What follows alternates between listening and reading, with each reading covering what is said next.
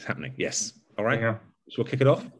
So I, I, I maybe I just said a, a, just a few words, really, just say um, that this is the first ever um, telco in Asia Pacific uh, time zone. We normally have India the other way, right, all the way over to uh, the west coast of the US. So it's very exciting to have uh, uh, this first one in this period. And I think Bipin, as the chair, I'll, let, I'll pass it over to you. Uh, and we have a great speaker today. So Bipin, please. Yeah, thanks, thanks, Julian, and uh, good morning, good afternoon, good evening to all of you. my name is Bipin Rathi, and I'm chair of this telecom SIG. And um, so the goal of this uh, telecom SIG is to discuss more use cases of blockchain in telecom space. And uh, quick introduction, like we wrote two solution brief, one of uh, like one on uh, intercarrier settlement, second is on IoT. And uh, today we have a talk on IoT as well. So uh, and uh, the second one is more on the IoT is decentralized ID and access management for IoT networks. We have a bi-weekly calls every Thursday and uh, and we have a guest speakers. And today this is the first call in Asia Pacific. And today we have Ali. Thanks Ali for, uh, for accepting our request. Ali is in as a research fellow at uh, Queensland University of Technology, and uh, today he will talk about blockchain adaptation in the Internet of Things. Thanks, Ali, and floor is yours.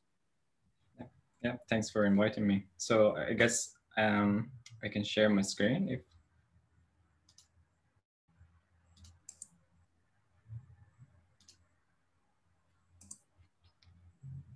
So can you see the slide now? Yeah. Yeah. Okay.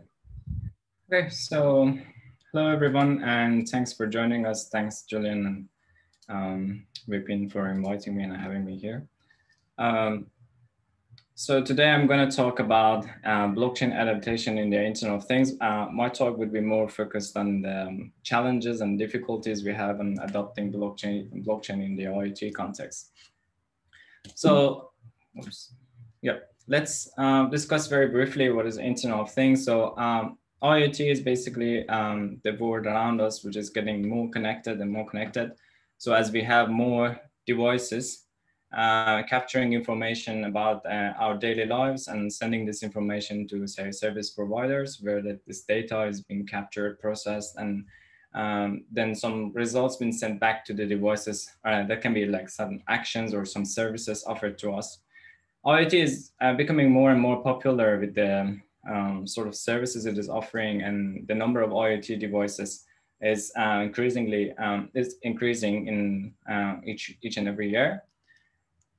And of course, this uh, this huge number of devices will capture a huge volume of uh, information about our daily lives, about different aspects um, our and of our daily life, um, which are shared with the service providers. Currently, um, the IoT ecosystems uh, basically relies on a three-tiered architecture where we have the low resource low powered or resource available IoT devices like the sensors or even your smartwatch um, connecting to a gateway, which can be in this example we have here, it can be like your mobile phone. Uh, the data captured by the IoT devices has been sent to the gateway and then the gateway will send it to a cloud service provider for processing and for their uh, services that they offer. So the main aim of having this three-tier architecture is that because the IoT devices have low resources, they can't technically afford of um, signing or in and applying a huge sort of um, strong uh, security algorithms. So we, we replace like a gateway uh, in the in between so that the gateway can handle all those um, processes and send the information to the cloud service providers. So although IoT offers quite a lot of uh, benefits, there are challenges there as well. Uh, the first challenge we're discussing is that the, the, existing solutions, as we've discussed, are centralized. So that means um, all the communications, uh, authentications, authorizations happens through this uh, central controller. So that means even if two devices um, are sitting in the same room and next to each other, if they want to talk to each other, they have to go through, uh, their packets have to go through technically the, the service provider. So considering IoT with, when we have millions of devices, this solution might not be scalable because that's uh, central uh, central control will become the uh, single point of failure or will will have to tackle with a huge volume of uh, packets. Security and privacy are the other uh, significant challenges. So as I said, so the IoT devices have limited security or limited resources so that they have, uh, they come with even no security safeguards, built-in security safeguards. The embedded algorithms are quite big um, and normally they use defaults and sort of username and passwords. Um, so we've seen the Mirai botnet where it used um, all the IoT devices and then it um, launches a distributed denial of service attack uh, and was successful actually. Um, the other challenge is around the privacy. Um, so all these devices, all these sensors capture quite a lot of information about our daily life. So assume that in, in your smart home, you have motion sensors, um, you have smart lights and do, smart doorbells and, and all these things that capture information about your daily life. So the service providers will technically have um, huge volume of information about you, about different aspects, and technically they can build a virtual profile about uh, you, which will compromise your privacy. At the current and existing ecosystem, um, all the IoT da uh, data has been stored by the cloud, uh, cloud service providers. So they maintain the data, they um, sort of process the data. So uh, as the user, you have no or very limited control over, uh, over your data and you can't technically monitor who the data has been shared with, what processing has been done on the data um, and, and all these things. And you technically trust that the service provider is actually doing, is, is technically honest and wouldn't do anything malicious against um, using your data or selling your data to someone else. So would there be any solution to, to these challenges and a couple of other challenges that exist in the current IoT ecosystem? So in this talk, we're gonna discuss how blockchain can tackle um, these challenges and, and can benefit from that. So given that um, this is a talk in Hyper uh, Ledger, so basically uh, skip the uh, basic introduction of blockchain. So I assume that everyone uh, in the call will know all the basics. Um, so, but what are the salient features of the blockchain that we can use and will, which makes it attractive for IoT? So blockchain uh, offers like a distributed management system. So in blockchain, we don't have any central server. So all the nodes are peers, so they can communicate, they, they sort of um, share information and uh, all together manage the system and reach consensus over the state of the ledger. So in blockchain, um, sort of modifying uh, or removing the content uh, of the blockchain database is impossible, which is called the, like the immutability feature. And that creates like a very attractive uh, feature for IoT that it offers also auditability and traceability because all the historical um, transactions are being stored in the blockchain and will be there permanently, technically.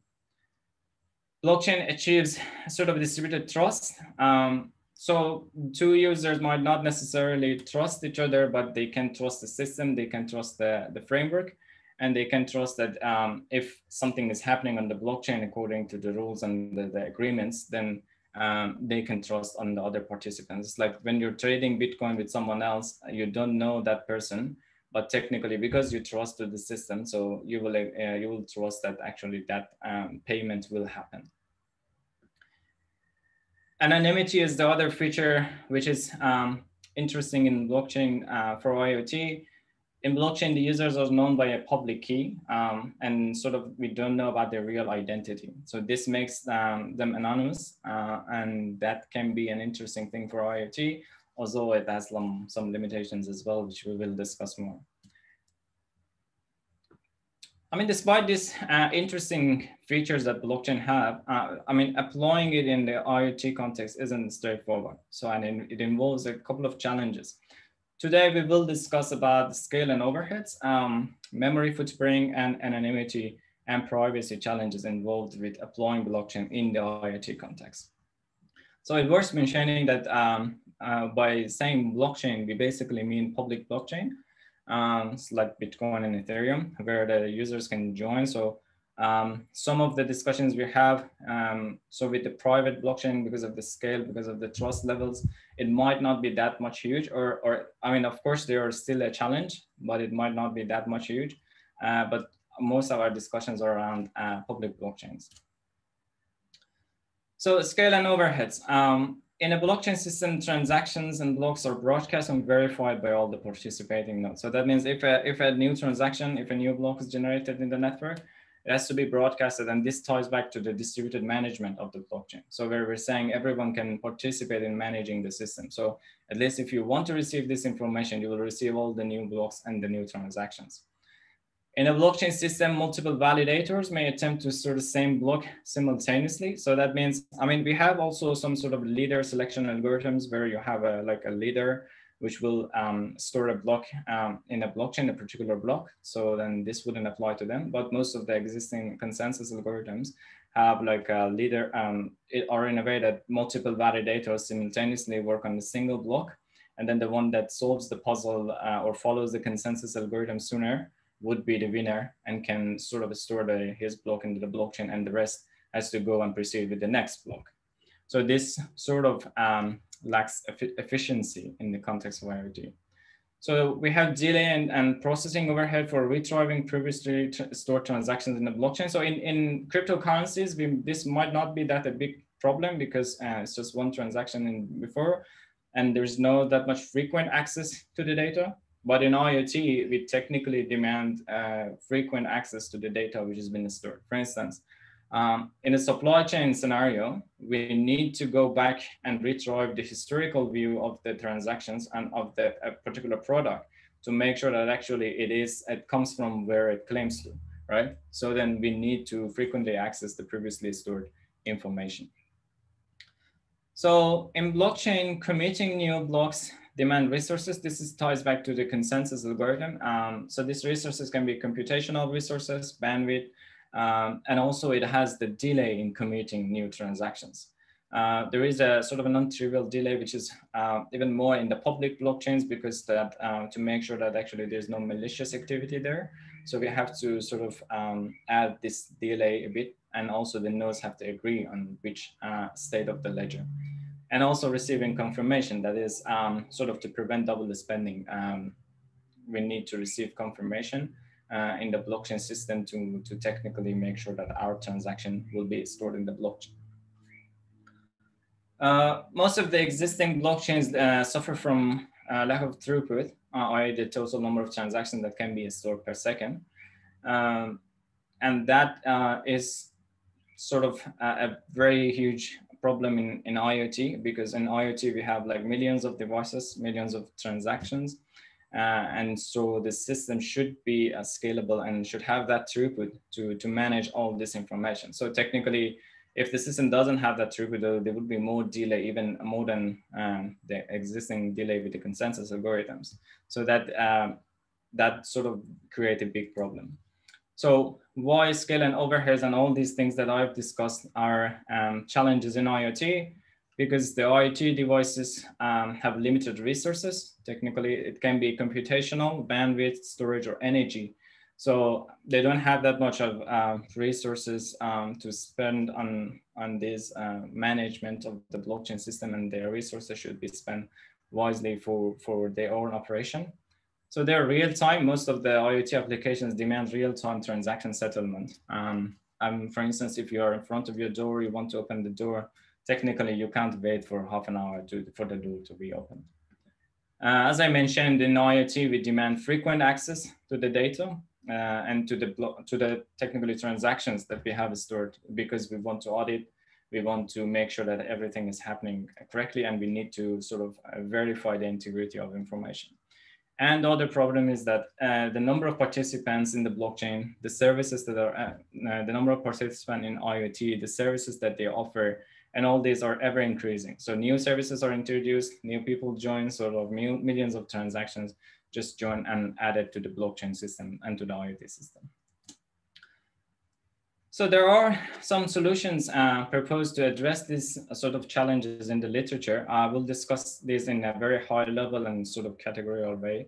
Um, so the first group of solutions are the hierarchical approaches where instead of having all the nodes um, in a single flat sort of blockchain layer, we will create so uh, private chains in different le levels and um, the transactions in each level are broadcast uh, only among the nodes in, in each level and um, the, sort of each blockchain uh, is connected to the parent. Uh, that can be by storing the hash of the blockchain or any other method. Um, so this will sort of, uh, to some extent, address the previous prob uh, problems that we have mentioned. For instance, you don't need to broadcast and verify everything in the main chain. Um, sort of the number of transactions in the main chain will significantly reduce because more of the transactions will be in the private chains. Um, sort of they will store here.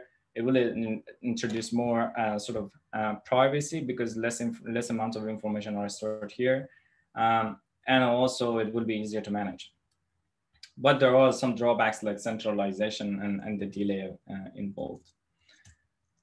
Sharding is another um, solution proposed in the literature where we create parallel uh, sort of ledgers where uh, the participants in each of the shards or the group of nodes in each of the shards will only manage the transactions within that shard.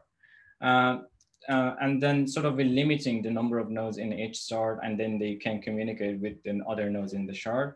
Um, so technically, as um, sort of David mentioned, in theory, the, the increase in trans, um, transaction throughput is linear because I mean, um, if you have four shards, then the throughput will be four times more than um, the throughput of a flat sort of blockchain. There are challenges as well here, uh, for instance, how these shards can talk if uh, a transaction involves um, or needs verification of another transaction in another shard, or if they want to talk. Um, but sharding is also a, a, solution that has been proposed in the literature. So initially, blockchain came with uh, Bitcoin and the proof of work. Um, however, we all know that proof of work isn't that much effective in terms of energy and, and all the challenges we have mentioned. So new consensus algorithms have been proposed in the literature, like proof of stake, where um, the validator of the next block uh, is um, sort of decided based on uh, this the amount of stake they lock in the blockchain, and then the more stake you lock, the, the, the higher will be the chance uh, of being the next validator.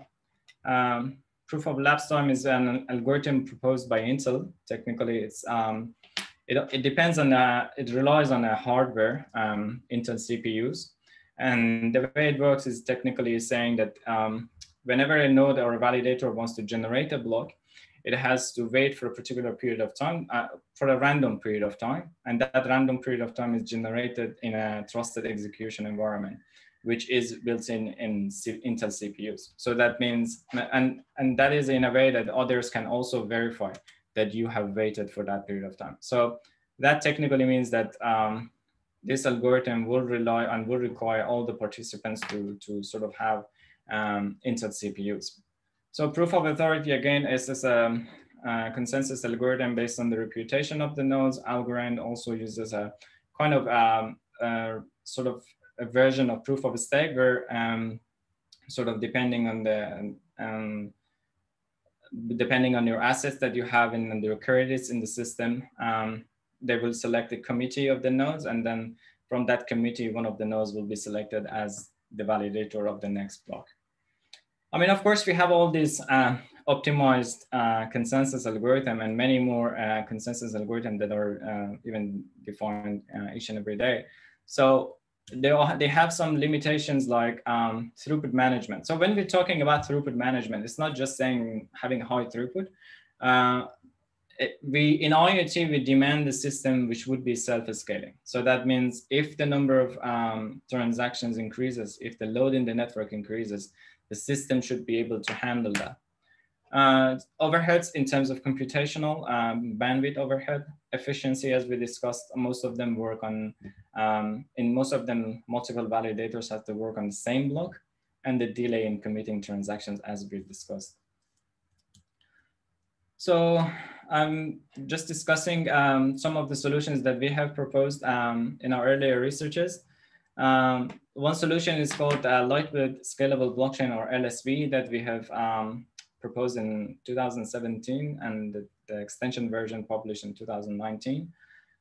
So based on LSB, we, so LSB technically relies on a network which is cluster. So that means we have the overlay network. The overlay network technically is the, the blockchain network, the peer-to-peer -peer network. So we divide the overlay network into different clusters and then um, the clusters, only the cluster heads, which we call them overlay block managers, will sort of uh, participate in managing the blockchain. So that means the cluster members don't need to be involved in the in management of the blockchain. They don't receive the transactions and blocks, and only the transactions and blocks are broadcast uh, among the overlay block managers. So we have proposed a couple of algorithms like a distributed time-based consensus algorithm, distributed trust algorithm, and throughput management algorithm, which I will go through them and um, sort of briefly mention, explain.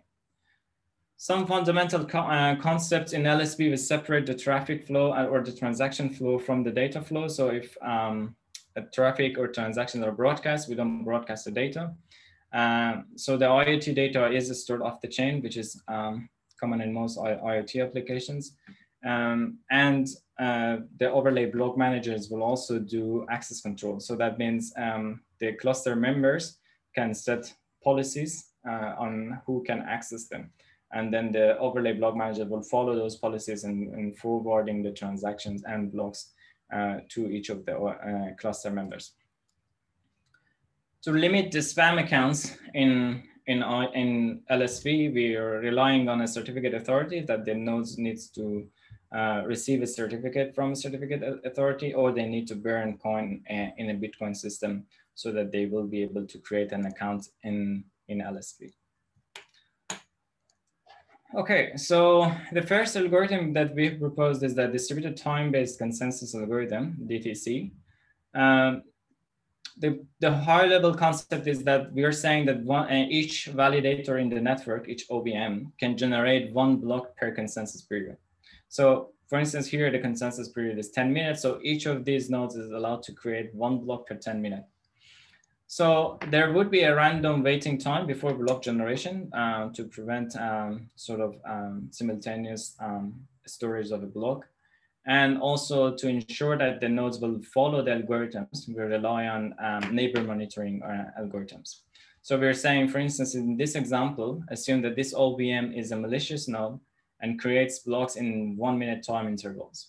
So what will happen is that the neighbors will receive the block, they will verify the first block and they will broadcast the first block, but the second and the third block wouldn't um, match with the consensus period because the consensus period is 10 minutes. So uh, this node has to wait for 10 minutes um, to be able to uh, generate another block in the blockchain. So then the block two and three will be discarded by the other participating nodes. So then technically, um, the security of uh, LSB will rely on neighbor monitoring algorithms.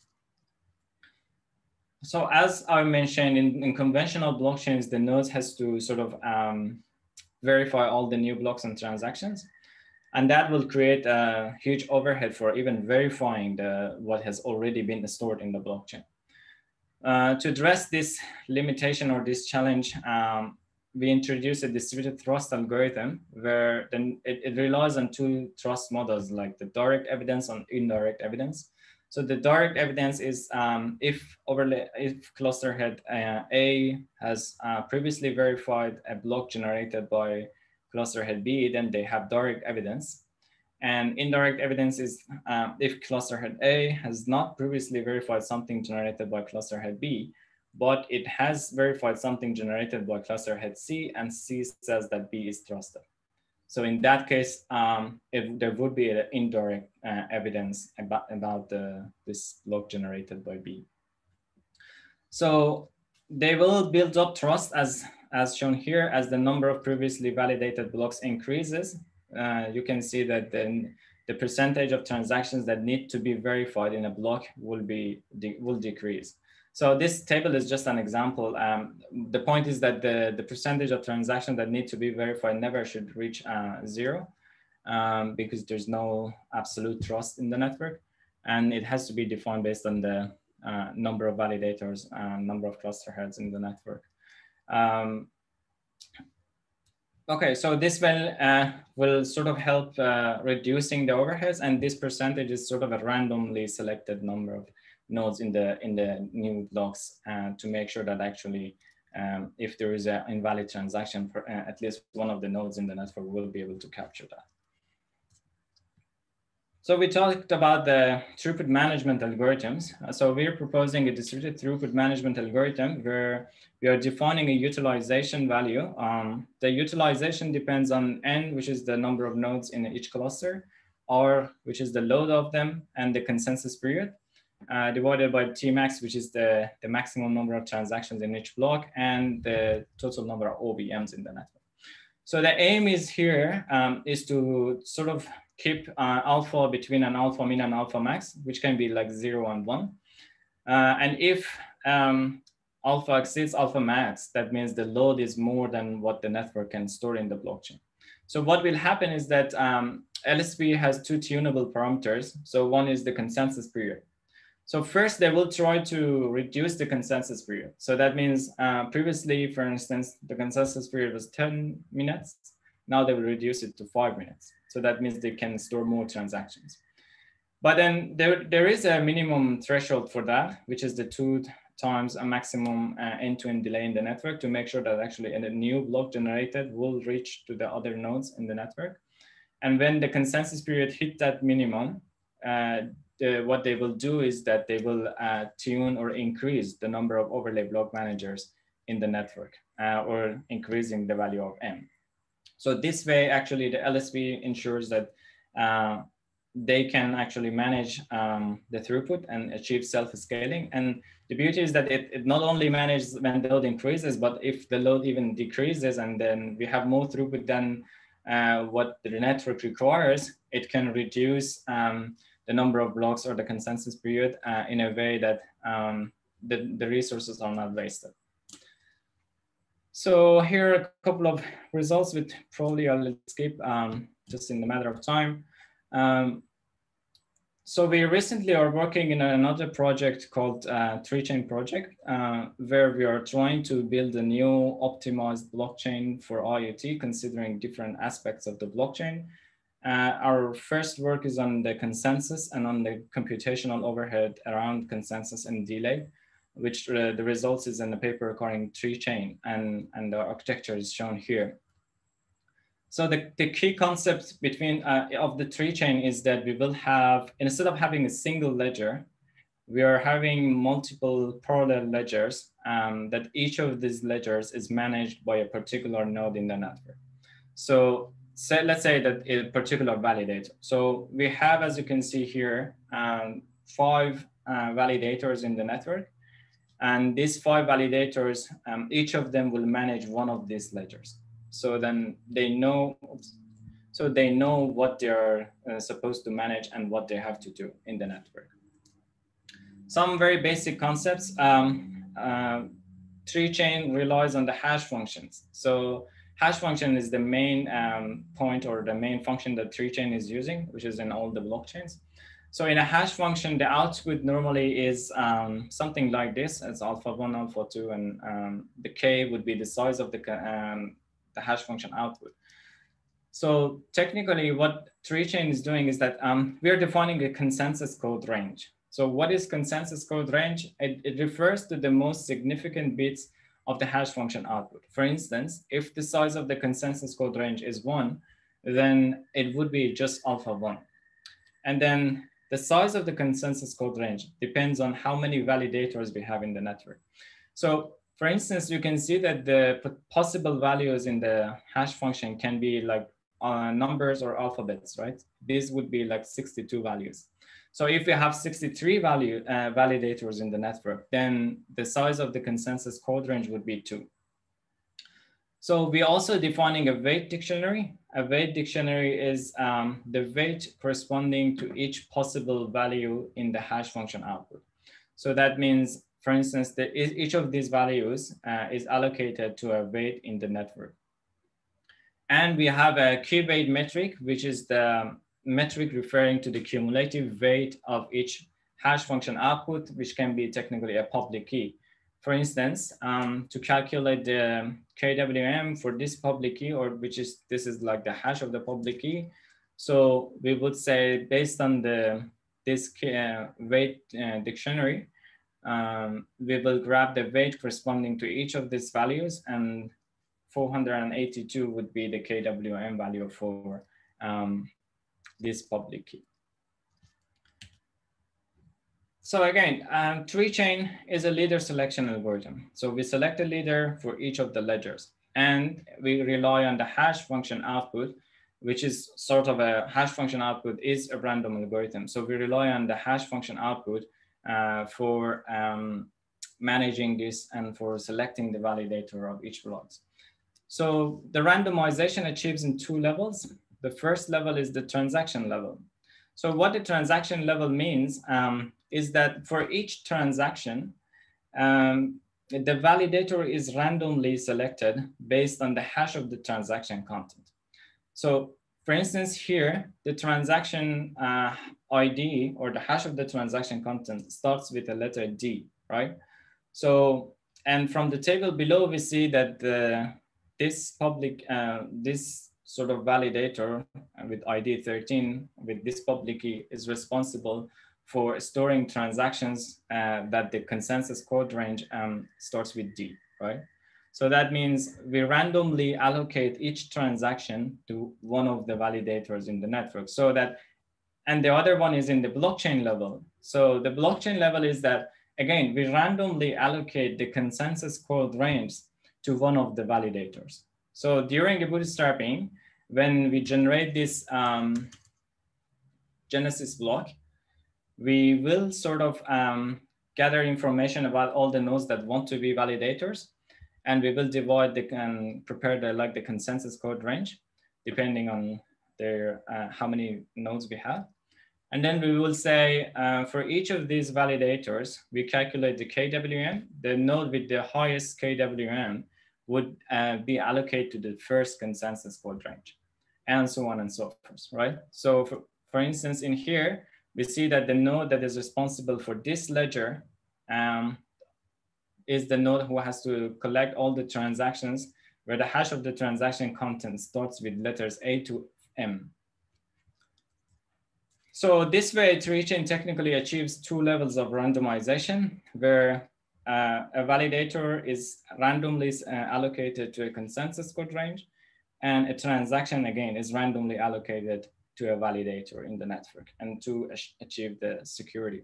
So there's no other uh, sort of um, algorithm needed for to follow um, for storing or committing new blocks to the blockchain. So that means uh, that makes Treechain actually very fast. So once a node receives a transaction that falls within this consensus code range, so it has to just um, collect them uh, when the size of the pending transactions reach the predefined threshold, then it will broadcast a new block. And, with, and the, the thing is that because they chain it to their own ledger, they don't need to wait for, um, and there, would, there wouldn't be any forking technically because each of these ledgers, um, each of these ledgers has this unique validator dedicated to that ledger, which always they know and the hash of the previous ledger. Uh, in some cases, the load in the network may increase over the time, depending on what's the period between um, uh, reforming the network or creating these two gen uh, different Genesis blocks. So then if that's the case, a node might uh, request for a new validator to join the network, and then they will divide um, the consensus code range between each other. That'll um, create a forking in the network. So um, again, the hash function is random. We, we can't guarantee that the load will be exactly divided between these two nodes, but at least it will be reduced.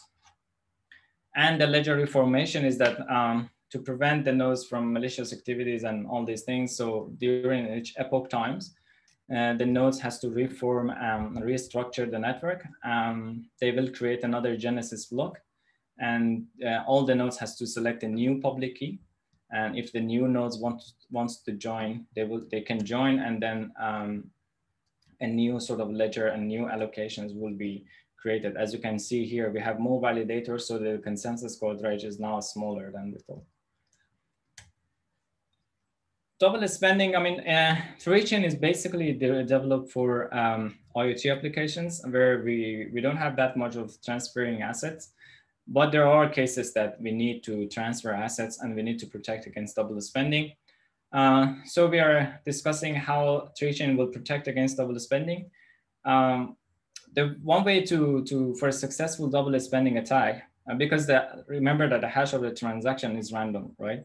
So if you want to create uh, two transactions, then technically they have to go to two different validators. You don't know who would that validators would be.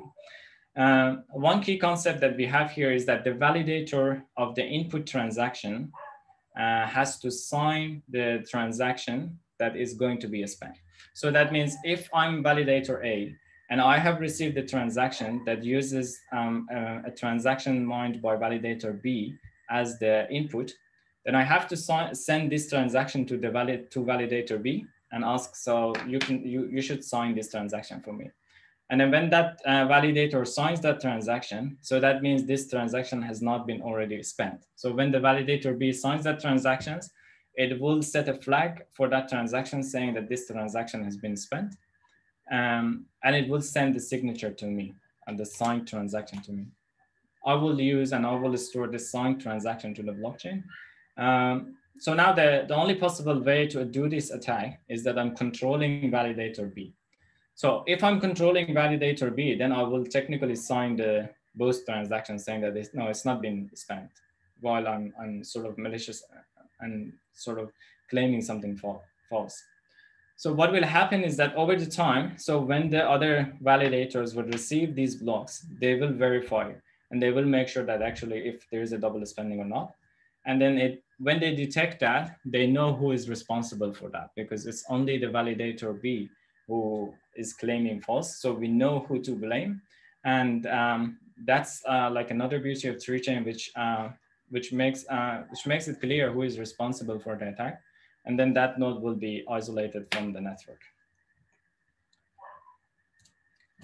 Okay, so um, some of the results, as you can see here, um, the processing overhead for uh, storing a new transaction in the blockchain uh, is quite um, low, um, and uh, which makes tree chain quite fast in terms of storing new blocks and new transactions in the blockchain. So here's the load balancing, which I will skip. And um, another uh, aspect of tree chain is because of uh, because we know where each transaction has been stored. So we technically, um, so if we want to retrieve a transaction, we don't need to go through um, all the database, all the blockchain database. We technically can only go through and uh, search in the ledger corresponding to that uh, transaction based on the hash of the transaction content, which will significantly reduce the retrieving time. And as you can see, as the number of validators increases, the number of transactions in each ledger will decrease technically, and then it will lead to shorter period of time for searching. So that means we technically when we are storing information in blockchain, we are categorizing them to reduce this time. Okay, so this is all about um, scale and overheads. Um, the next challenge we're going to discuss would be about the memory footprint of the blockchain or the storage aspect of the blockchain. Blockchain is immutable, right? Um, it, it, it, immutability helps uh, security, helps auditability, helps to pr protect uh, double spending attack but there are some other aspects of it as well. We will face with an ever increasing database, which we can't technically remove information from that database. So the size of the current Bitcoin blockchain is 310 gigabytes. And um, consider an IoT with millions of transactions, the size will be significantly larger and, and sort of how we can how, how we can sort of manage this database. Privacy is another issue. So blockchain will, when you store something in blockchain, that will remain there, right? So you can't control anything. So what if one of your keys is leaked or what if um, using techniques that I will later mention, someone de-anonymizes you and they know your real identity. They know your real identity, they know your keys, and technically all your information is in the blockchain. So you, you cannot do anything about that. Um, and sort of they will have all the information there. Of course, the, the data normally is encrypted and normally is not stored in the blockchain, but even the pattern of communications and even the pattern of uh, interactions would be enough for the attackers. Uh, regulations like GDPR, the users and the, uh, the users demand the right for the data to be forgotten. That's not possible in blockchain? And also, what if someone stores something illegal in, in the blockchain database? Well, how, how can we tackle with that um, sort of in illegal information in the blockchain? So there are some solutions proposed again in the literature. And one of them is to store the data off-chain. So that means we will store the data associated with the IoT devices in an off-chain database, and we will have the hash of that data in the blockchain as a sort of evidence that we will, we will not change the data over the period of time. Uh, of course, this will uh, help improving um, or reducing the size of the blockchain database, but uh, again, we will still need to store millions of transactions in the blockchain database, uh, which will again uh, increase the size of the database. So some algorithms like the chameleon hash function, they allow you to modify the data, but still have the same uh, hash value or still be able to validate the same hash value. So this way you can technically um, create and use this type of hash function. And then over the time, you can technically modify the data, or modify transactions, or modify even the contents of a block and then uh, still ensure the blockchain consistency. Um, so as you can see here, a very high level view of how a chameleon hash function works is a, when you want to generate a key, you will input a secret value. It will create a hash key and a trapdoor key. So this trapdoor key is technically the key that you will use uh, for creating a collision. So when you want to create a hash, uh, you will send the message, the hash key, and there would be a string and a hash value as the output. So you will require this string for verification. And this is string is technically what allows you to sort of create a collision. When you want to create a collision, you will send the new message, the previous message, the hash of the previous message, and the trapdoor key and the string of the previous message to the algorithm, and it will create a new string. So that new string can be used uh, to uh, with the verification algorithm to sort of, uh, and it with the new message and it will uh, say that uh, it is verified and the hash will match, right? So that that uh, prevent any inconsistency in the network. Other methods will rely uh, on summarizing, say, of uh, the transactions, like Mimblewimble, which is employed in um, Bitcoin. Um, the idea here is that when you have a group of transactions, so technically what you can do is that um, you can group them as one transaction and you will uh, ignore the transactions or, input outputs that are already spent in these transactions. So for instance, transaction one uh, output two uh, is used as the input of transaction two, right? So we don't need to include neither uh, output two nor uh, input five in this final transaction.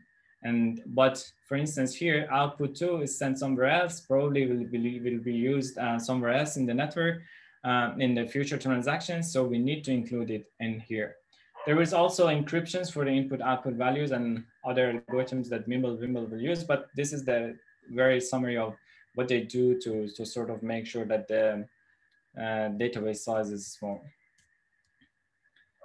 We have also proposed a solution called uh, MOFBC, Memory Optimized and Flexible Blockchain, which will allow the users to sort of experience the right to be forgotten, for the data to be forgotten, and uh, allows the users to remove information from the blockchain. Uh, technically, what we are doing is that we are introducing a new layer called MOFBC layer on top of the blockchain, existing blockchains. Um, and then this layer will manage all the removal, removal of transactions. So very high level view of how it will work. So is that technically in conventional blockchains, when you want to calculate the hash of the block, you will hash the content of all transactions uh, and the block header. What we are proposing is that uh, instead of the content, we technically can use the transaction ID, which is again the hash of the content of the transaction. And if we want to remove a transaction, we simply will remove the content, but keep the, uh, keep the transaction ID in the blockchain. So that means um, still there would be a level of auditability. There would be, um, the nodes will still be able to verify this um, and to uh, verify all the transactions um, and the consistency is maintained. So in IoT, users demand different types of um, flexibility, demand the flexibility in storing the transaction. So you don't need, you don't necessarily might not need to store your transaction permanently, uh, say that you signed a contract with the service provider for one year. After one year, you don't need those transactions as a record. Uh, so we're introducing temporary transactions for these cases. Uh, we're introducing summarizable transactions where, I mean, this is similar to the concept in Mimblewimble, but um, all these transactions belong to the same user. So in Mimblewimble, it can be different users. Uh, here we're saying that each user can uh, summarize all these transactions to a single user transaction, which will contain all the information about these transactions. So that means the auditability will still be achieved, uh, but you have to technically store this transaction off the chain. Aging means that um, if you're if the transaction has a hash of a, a, data which is stored in a cloud, you technically can remove um, you technically can uh, co compress that data in the cloud to, um, to save, uh, to help saving the space. Uh, you can update your transaction in the blockchain to, to refer to the aged data and the permanent, uh, which is as always. So in MOFBC, we are introducing a storage fee, which is um, basically uh, in conventional blockchains, they charge for the computational resources they need, uh, the validators need to allocate. But in MOFBC, we are saying that in IoT, storage will also be something important. So we have to uh, charge the users for the amount of transaction they store, they're um, generating and uh, to be paid for the to the nodes that store the blockchain. So this is uh, basically saying how the share for each of the nodes that are storing the blockchain will be calculated. In, in summary, it's like uh, what is the size of the blockchain, um, what is the amount of the database you are storing, and for how long. And depending on that, uh, there will be a share for each of the nodes. Using even this storage fee, we will motivate and incentivize the users to remove their transactions from the blockchain, saying that if you want to generate a new transaction and you had a previous transaction in the blockchain, so why not removing that one and, in, and you can store a new one for free. So that means you wouldn't need to pay the storage fee. So this way we're trying to incentivize the users to remove transactions. Otherwise, uh, the user might not find uh, enough incentive to, to remove their transactions from the blockchain. Um, we allow transaction removals to be to happen in different layers. In the user can remove, a service provider can remove. Uh, this is in a case like um, a user is hacked or is malicious and storing something illegal and the network can do it. Uh, for instance, if a user wants to offload all the overheads to the network. When a user or a service provider wants to remove a transaction, uh, that transaction, so that means the transaction has, is already in the blockchain. So the first step is that you have to prove that you are the owner of that transaction. So how you will do it? Normally you use public key and signature. But then in IoT, when we have millions of transactions and each transaction probably with a new public key, how you're going to store all those public keys and keep track of uh, which transaction is generated with which of the public keys. So then the key management would be a problem. So we are introducing um, generator verifier concept. So this is basically saying that um, we create a hash of a signed value, which is um, the previous transaction ID and a secret value. And this would be unique for each transaction. So that means um, for each transaction, this would be unique. And to show that you are the owner of that transaction, you need to reveal the, you need to prove that you know the private key associated with this public key. And you know also the hash of the GVS. So this will help the other nodes to create this value and then also create this value sort of um, to prove that you are the owner of that transaction.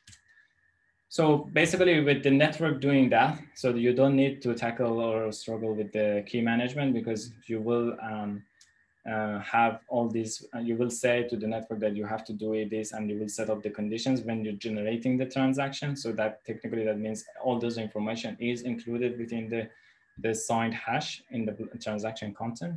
And we will introduce fields like uh, memory optimization mode and the memory optimization setup. For instance, if it's a temporary transaction, then we have to uh, remove the transaction from the blockchain.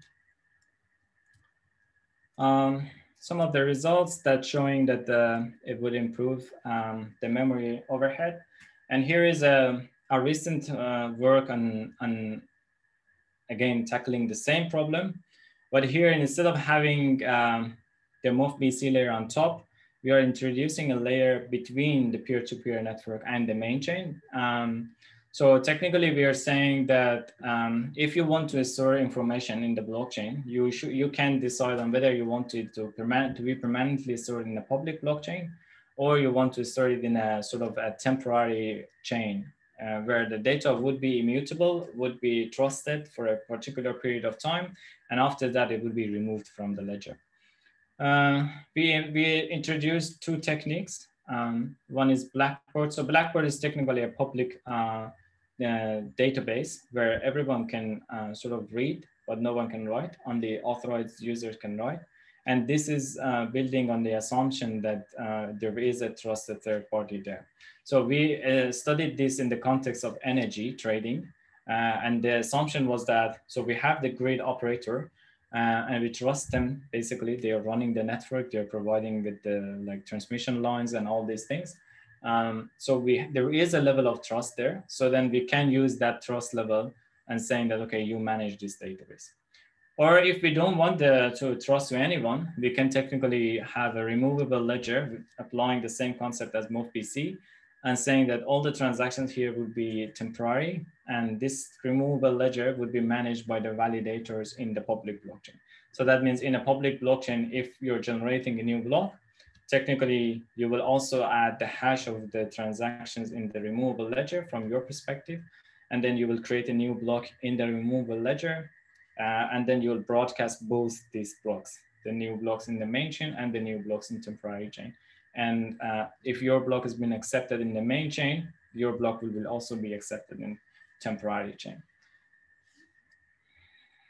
Okay, so these are basically the solutions we had and the challenges for memory optimizations. And last but not uh, least, a very important problem uh, is around anonymity and privacy. So we know that blockchain is anonymous, right? So we know that uh, one, all the users in the blockchain system are known by a public key.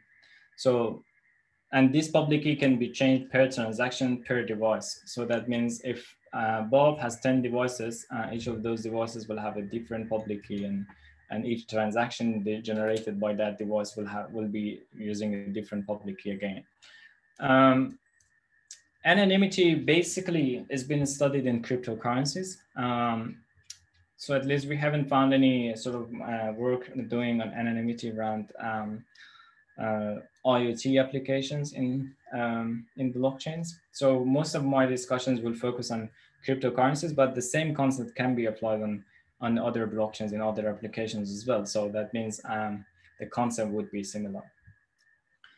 So we have different attributes for anonymity. Um, one is the anonymity of an entity. So we're saying that when an entity is creating something, um, transactions in the blockchain, you, others shouldn't be able to find out about the real identity.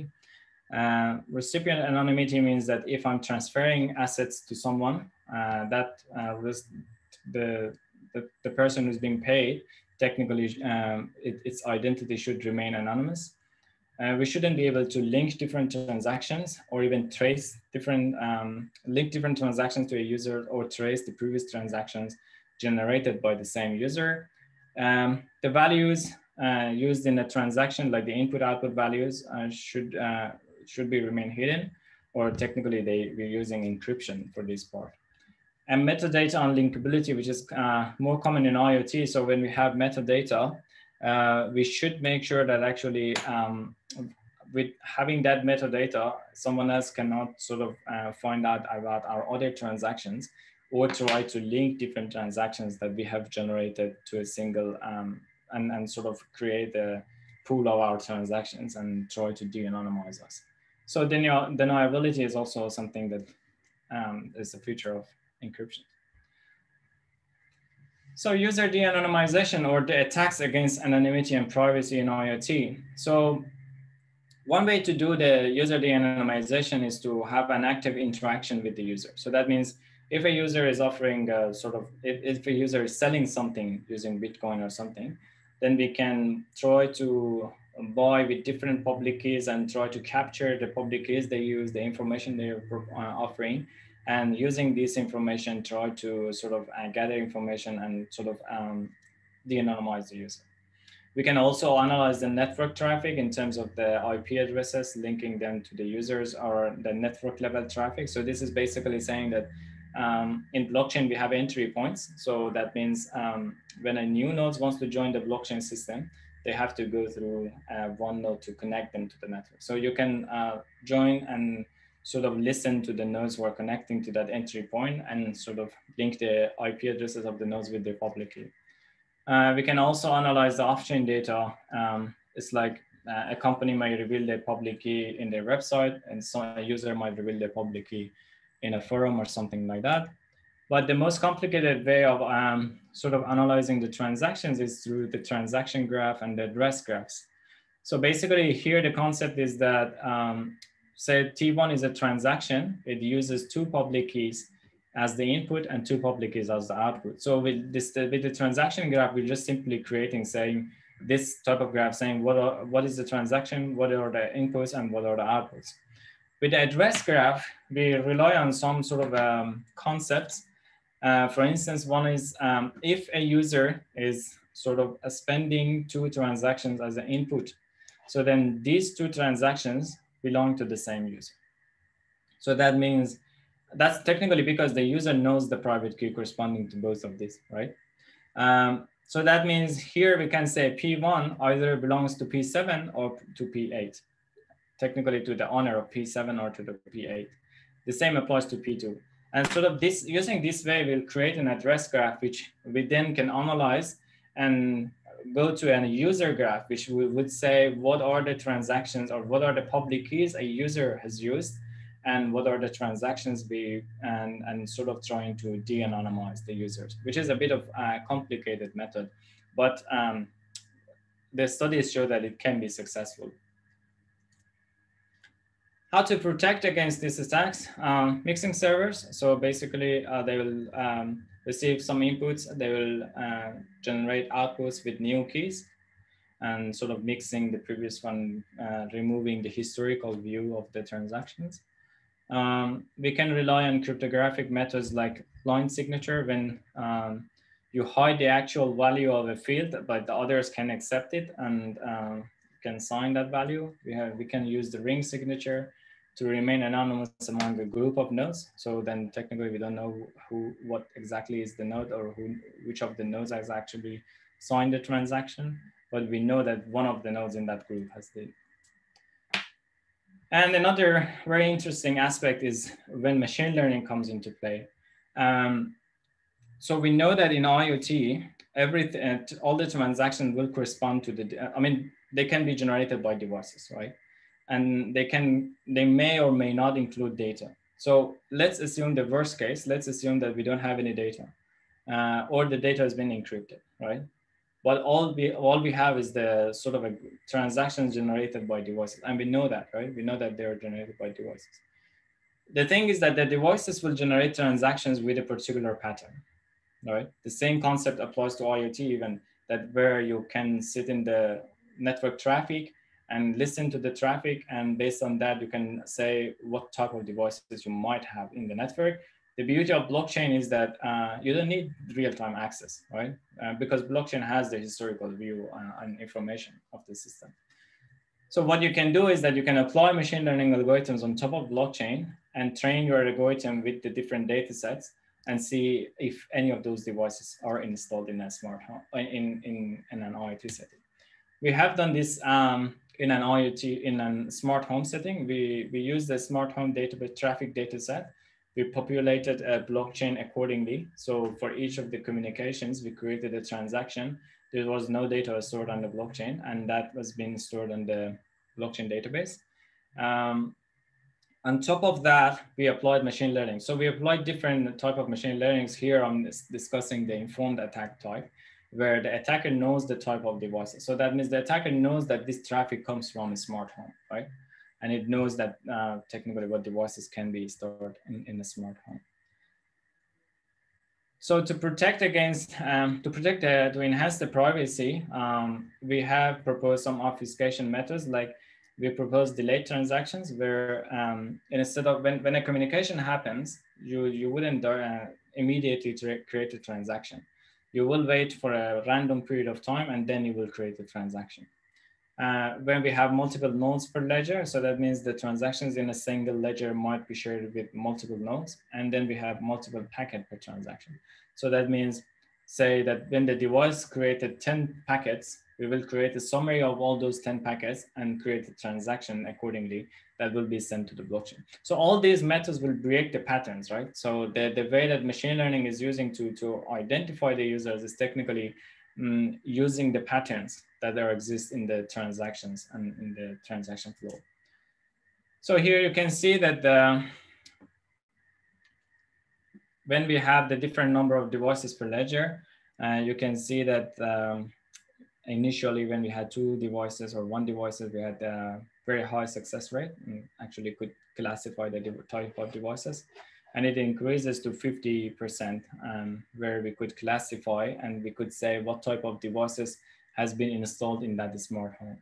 And you can see that the, the obfuscation methods we're proposing will reduce the chance, but still there is a chance um, that detecting that um, what devices have been installed and compromising the privacy. So here as well, you can see that, um, again, we use multiple packets per transactions. You can see that we are still able to sort of identify what um, devices have been installed and what using multiple packets will reduce the chance. And the same concept applies to when we have multiple devices per ledger. So these results uh, basically show that um, when we have blockchain, we can, um, blockchain for IoT, we can apply machine learning algorithms on top of that to identify the users uh, and to, to link, um, to identify the devices, to identify and then link that devices to a particular user. So that will be like a huge risk against privacy because remember that we said that blockchain is immutable, that all your uh, history of information will be publicly available in blockchain and you can't do anything about it. If, if the users are successful in de-anonymizing you, then technically it would be there forever. There are some other um, challenges around anonymity in IoT as well, and that's the trade-off that we have between privacy and trust. So if we want to trust someone, we have to know who they are, right? But in blockchain system, we technically don't know who they are, and because the other user also don't want us to know. Uh, let me explain that through an example here. Assume that this is an energy trading example. And this home uh, on the left side um, has a solar panels, has excess energy. You want to sell energy. And the other home here on the right side has basically um, is a consumer. It needs energy. So the consumer wants to buy energy, and there are nodes in the network saying that, hey, we are uh, we have solar panels, we have excess energy, uh, buy from us pay us that and we'll send you energy. So uh, how this uh, consumer can actually trust that the node who is saying I'm a smart, I'm a solar panel is actually solar panel or, or has excess energy. What, how we make sure that it's not an attacker uh, that wants to sort of just charge us for nothing, right? But and so here the consumer demands to know that um, when you're saying you're a solar panel or you have excess energy, I have to make sure that actually you're right, right? But again, the producer don't want to reveal his identity because if it's revealed the identity, then people can track uh, the energy consumption generation. People can track the profit it will get um, for selling and, and uh, for selling the excess energy and all the information, such information. And even there would be like safety concerns because if you know the energy consumption, the real-time energy consumption of a smart home or a home, you can technically guess uh, when someone is home or when someone isn't home. Uh, so, Ali, Ali, I think yeah. we're over. We're over the hour now. uh, sure. I think this is my last slide. I'll probably, yeah, we'll quickly go uh, over that. So, um, so we propose like a solution for that, which is um, a certificate of existence, saying that. So here we are building on the concept that the smart meters have uh, trust each other. Um, uh, and they are tamper resistant basically. So what is happening is that the manufacturer of the smart meters will generate a set of uh, one public key, private key pairs, and, and then they will populate that in the meet and the smart meter. When the meter is deployed, it will generate a number of public key, private key, create a Merkle tree using the public keys, and then send that information to another meter in the network. So then the verifier meter or the meter who is receiving the information will sort of um, verify that this information comes from a genuine smart meter using the certificate um, authority, which is the manufacturer, and then it will sign the root. So this root is basically used as the uh, certificate of existence. And whenever the, the, the, device wants to generate a transaction, it will just populate the root, the signed root, and uh, uses one of the public keys used in the Merkle tree. So the, all the nodes can see is that uh, verifier meter has signed this, but technically it's not the verifier meter who's using this transaction or who's generating this transaction. So there's no link between the verifier meter and the, meter, the actual meter is generating this. So then we can trust that it is a smart meter, but in the meantime, we're protecting the privacy of the uh, user who's using this. And again, we have covered uh, scale and overheads, memory, and the anonymity, which are the key um, challenges in adopting blockchain in IoT. And thanks for attention. I think I'm a bit over time, but thanks, thanks for your attention, everyone. No problem, no problem. So uh, I think normally we finish in an hour at, at these these things, but I think we've got we have a few questions.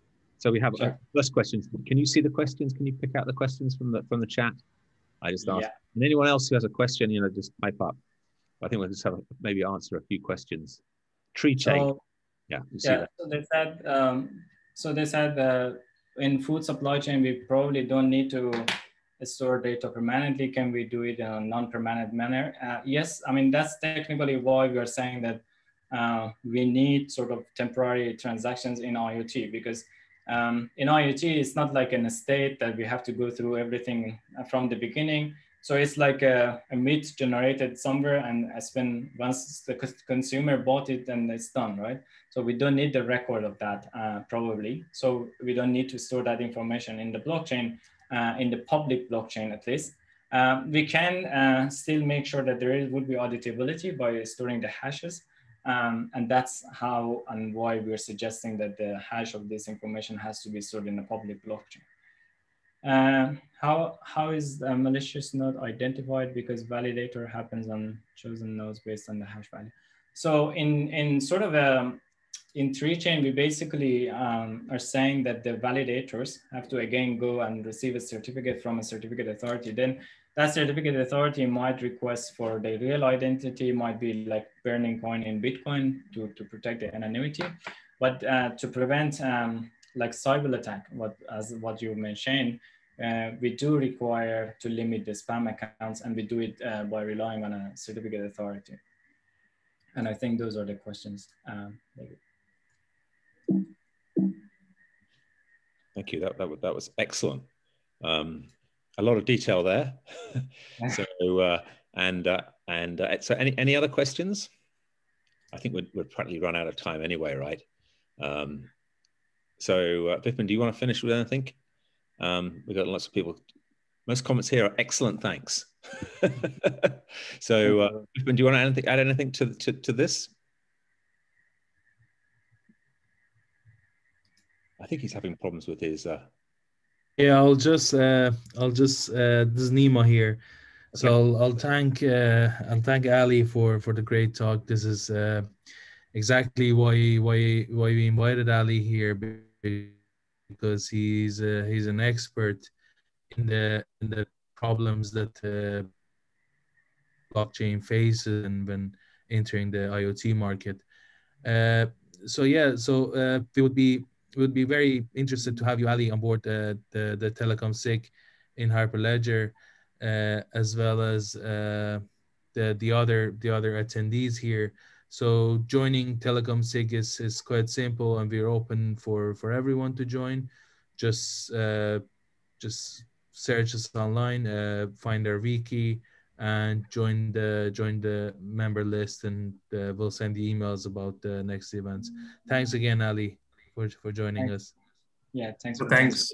Thanks, Ali. And uh, thanks for new concepts like tree chain, temporary mutability certificate of existence, like really, really new concepts. And thanks for sharing.